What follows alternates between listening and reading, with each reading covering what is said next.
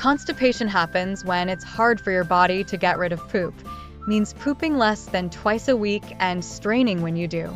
It's usually caused by a poor diet and a stressful sedentary lifestyle.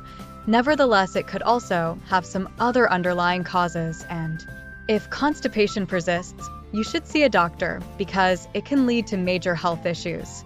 Unfortunately, this problem is usually shoved under the carpet because people feel ashamed to talk about their pooping habits for one reason or another.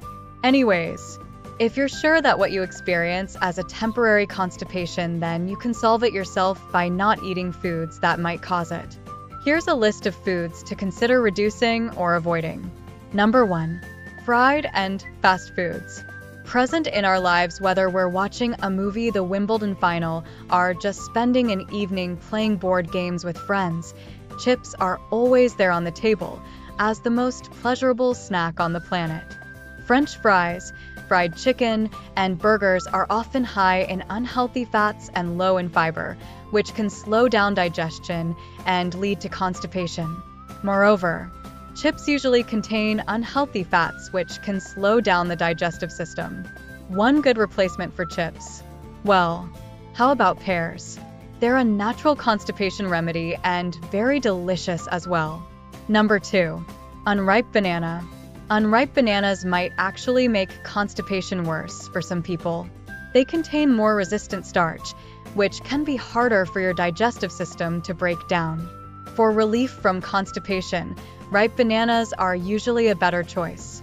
It seems that unripe bananas contain a high concentration of tannins, an antioxidant which can cause or even aggravate pre existing constipation. Number 3. Chocolate. Among people suffering from constipation revealed that people thought chocolate was to blame for constipation. Also, other reasons were white bread, black tea, bananas. The study was conducted on a group of 122 patients suffering from chronic constipation and 766 patients suffering from irritable bowel syndrome with constipation. It's true that Though black chocolate has numerous health benefits from lowering the risk of heart attack to lowering the cholesterol levels, if your digestive system is a bit on the edge, black chocolate can contribute to constipation. Number 4. Dairy products. This might sound strange. Yes. But watch carefully until the end milk and cheese are full fat dairy products that bring a lot to the table when it comes to satiety and weight loss. Moreover, a study from 2015 found that people who eat a lot of high fat dairy products are less likely to experience diabetes. Nevertheless, since these products are processed very slowly, they could make you constipated, apart from the fact that they can cause a lot of bloating. Number 5. Ice cream. These can also contribute to constipation for some people, especially if consumed in large quantities.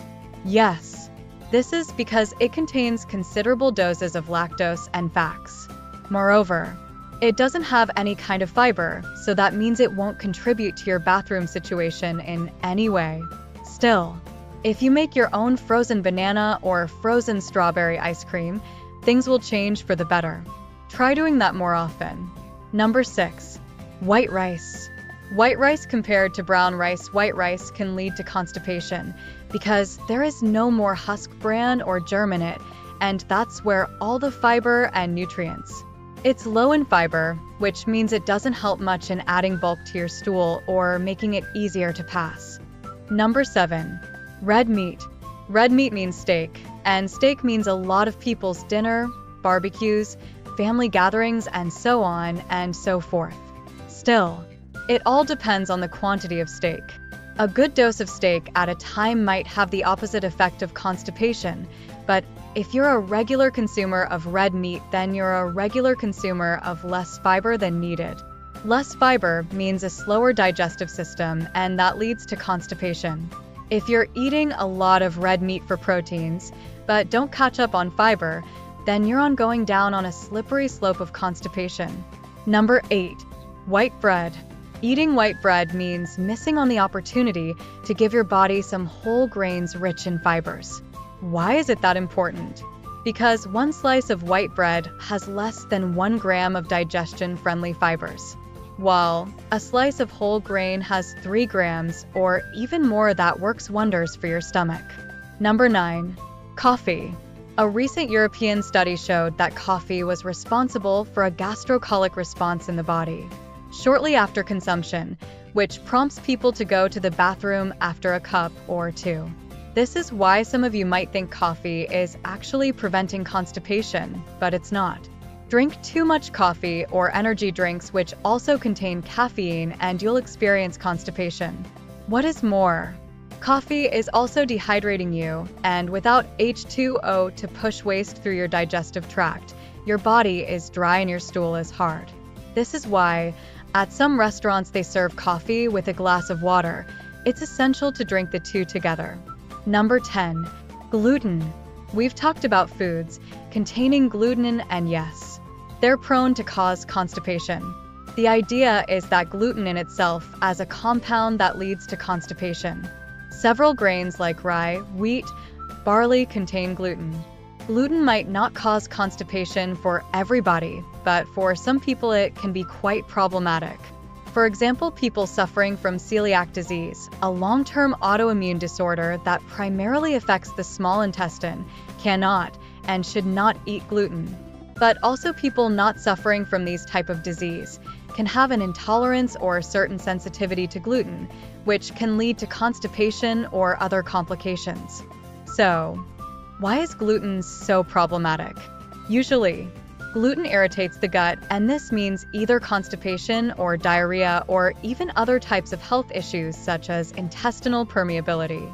To manage constipation effectively, it's also important to ensure you're drinking plenty of water engaging in regular physical activity, and gradually increasing fiber intake to avoid digestive discomfort. Moreover, knowing what types of food to avoid is also a really good idea in fighting against constipation. Also, you should never be ashamed to talk about it or see a doctor in case it gets too much. Stay healthy. Thanks for watching this video. If you liked it, make sure you hit the like button and subscribe to our channel.